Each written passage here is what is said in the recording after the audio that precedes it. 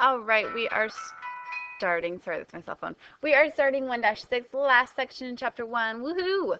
Uh, before we get to that, go ahead and try, pause the video, and see if you can answer these two warm-up questions.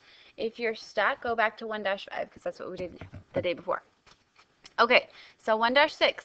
We were talking about midpoint and distance in the coordinate plane. The coordinate plane, that's that like x, y graph thing that you guys did in algebra.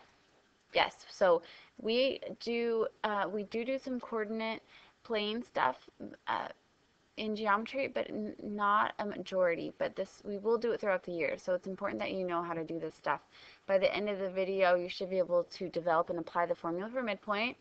And then we should use Pythagorean's theorem and the distance formula to find the length between or the distance between two points.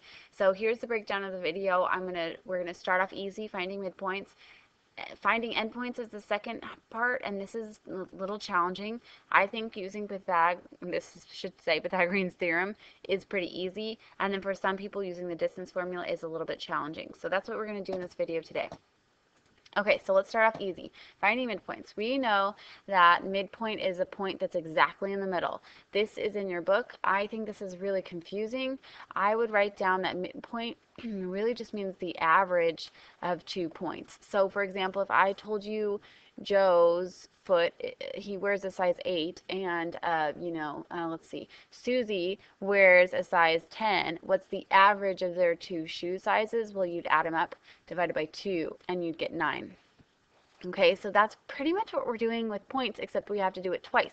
We have to do it once for the x value and once for the y value because we're going to be talking about putting it on a coordinate plane.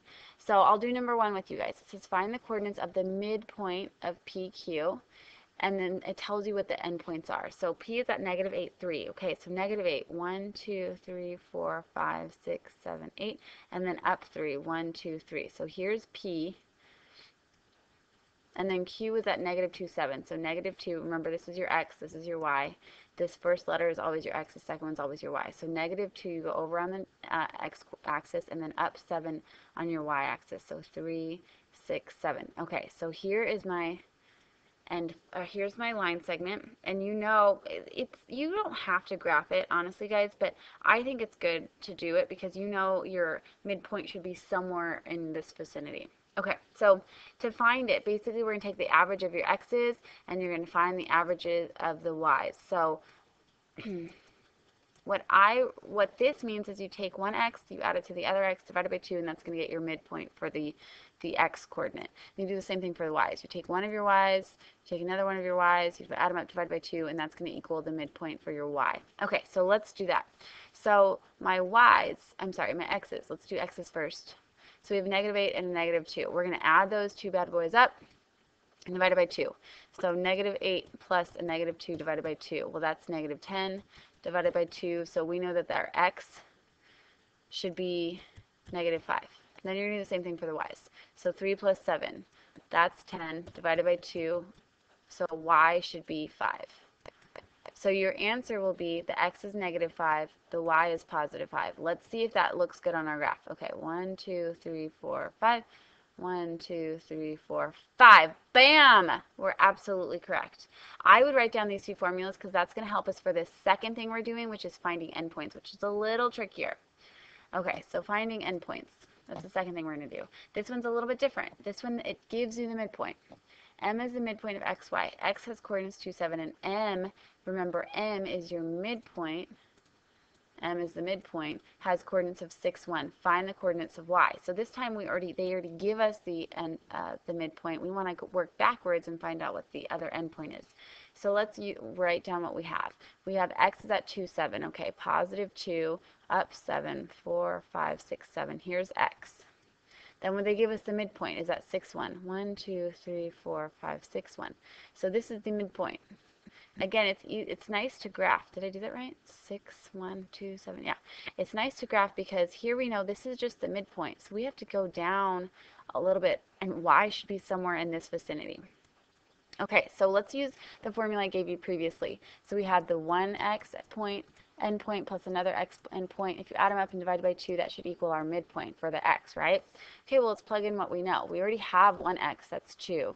We don't know what the other x is. That should be for y, right? If we divide that by 2, it should equal the midpoint, and they give us the answer. So this is just um, an algebraic expression or equation that you should be able to solve. To get rid of this divided by 2, the first thing you're going to do is multiply both sides by 2. And that's going to get rid of that fraction. So now you have 2 plus x equals 12. Subtract 2, and you should get that your x answer should be 10. You're going to do that same thing for y. Okay, so we're going to start off right at the beginning. We take one endpoint, we add up another endpoint, we divide it by 2, and that should get us our midpoint. Okay, so plug in what we know. We know that the endpoint is 7, right? This was our endpoint, so 7. So I'm going to erase that and put 7. Because I'm running out of room. I won't. Okay, y plus 7 divided by 2 should equal our midpoint. Our midpoint for our y was 1, so equals 1. And again, our first step both times should be to multiply by 2. So then we get rid of this fraction, and now we have y plus 7 should equal 2. Subtract 7 both sides, and we should get y equals negative 5. So our answer, our final answer, because we're going to write it as a coordinate point, is 10, negative 5. Let's see if that works. So 10, uh, 1, 2, 3, 4, 5, 6, 7, 8, 9, 10, and then negative 5. 1, 2, 3, 4, 5. Sweet, there's y, and that looks pretty good for my picture. Boom. Okay, so this is, again, this is challenging. I want you to try it because I know this is hard. So you're going to try this one. So pause the video, and then when you're ready, continue on. Okay, the third thing we're going to do is a little bit easier, finding lengths using Pythagorean theorem. So we're not trying to find midpoints this time. We're trying to find the distance between two points. So, um, and, and I know you guys have heard about Pythagorean theorem before. We use this a lot in class. It's a squared plus b squared equals c squared. But you need to know that a and b are considered the legs, and c is considered the hypotenuse. And this only works for right triangles. Okay, so let's see. So we can't have an obtuse triangle. We can't have an acute triangle. It needs to be, oh, I'm going to sneeze. Excuse me. Okay, sorry. It only works for right triangles, and uh, and the these two sides that touch the right angle are considered the legs, and the hypotenuse is always the longest side. So this is the hypotenuse. Okay, and you just add up, square these and add them up, and that'll equal the hypotenuse squared.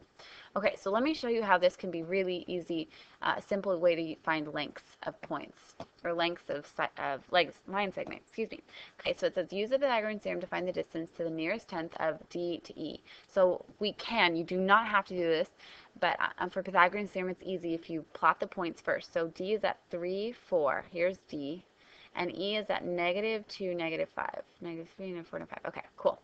So once you have these plots pointed, or these points plotted, you're going to draw, connect the line. Then you're going to make your own right triangle. If I connect from here to here, that's a right triangle. Sweet. So you just draw a vertical and horizontal lines, horizontal and vertical lines. And then you get to count. Some of you guys are going to be like, well, can't you just count how long this line is? No, you can't. You have to be more accurate than that. So you can definitely count the horizontal and vertical lines. So if we count up, this is 5, 6, 7, 8, 9. And then this one is 3, 4, 5. Okay, so now we have two side lengths. We can figure out what this one is. So you're going to do 5 squared plus 9 squared since these are the legs and that's going to equal our hypotenuse squared. So 5 squared is 25, 9 squared is 81, equals c squared. So then this is what, 106 equals c squared, and then what you have to do to get rid of this squared is square root both sides. I am totally okay if you leave your answer as 106 for now. But when it asks you to the nearest tenth, that means you actually need to pop it into your calculator, and it should be like 10 something. I'm not sure what. 10 point, 10.3. All right, sweet. So there's Pythagorean theorem. The hardest part for some of you guys may be to draw this triangle. So in which in that case, if you do not like drawing triangles, that's fine by me. We're gonna we can use the distance formula, and this will help us out too. Distance formula is an algebraic way of doing things. This is the distance formula right here. You basically take the x's and you subtract it and then square it. And you take the y's, you subtract it and you square it. We add those two bad boys up and you take the square root of it. I know that looks complicated. Definitely write that formula down. We'll use it more in class tomorrow. Let's see how much time I have left. Okay, so this one, last question. It says find FG and JK. When I give you something like this, I'm asking you to tell me the length. Okay, so when I give you something like this, that means tell me the length of each line. Then determine if those two line segments are congruent to each other. So do they have the same length? Okay, so if you wanted to use the distance formula, I'm going to show you how to use the distance formula for JK, and then for FG, I'm going to show you how simple it is to use Pythagorean's theorem. So JK, let's see, J is at point negative 4, 0, and K is at point negative 1, negative 3. So for distance formula, all you do is you subtract the x's. So here's an x and here's an x. Okay, so I'm going to take them and I'm going to subtract them. And then I'm going to square that answer. And I'm going to add it to the same thing for the y's. So you do the same thing for the y's. You subtract it and make sure you're going in the same order. Notice how I picked from this first and then I went to this. You got to pick from this one first and then go to this. So that these need to be from the same ordered pair. Okay, and then you square root it. Okay, so let's break that down. So when we have two negatives, we add it. So this is going to be negative 3 squared. And then let's see, over here we have a positive 3 squared. So 3 squared, and don't forget when you square root it. So 3 squared is 9, 3 squared is 9. Add those two bad boys up and you get radical 18. Totally fine if you want to leave it like this. So the distance of JK is uh, square root of 18. Now, you're more than welcome to do that with the other one absolutely fine if you want to use the distance form. It does not matter to me. However, let me let me show you how easy it is to do Pythagorean theorem when they ha already have it drawn for you. Just draw the right triangle. Here we have this side length is 3 and this side length is 4. So for FG, I know it's going to be 3 squared plus 4 squared. If it equals 18, then they're going to be the same thing. Okay, but 3 squared is 9, 4 squared is 16. So then I have the square root of 25. I know that this segment has to be 5. Is 5 the same thing as square root 18? No. So your final answer would be, well, one answer is going to be that FG equals 5 and JK equals radical 18. And then your final answer will be that they are not congruent to each other.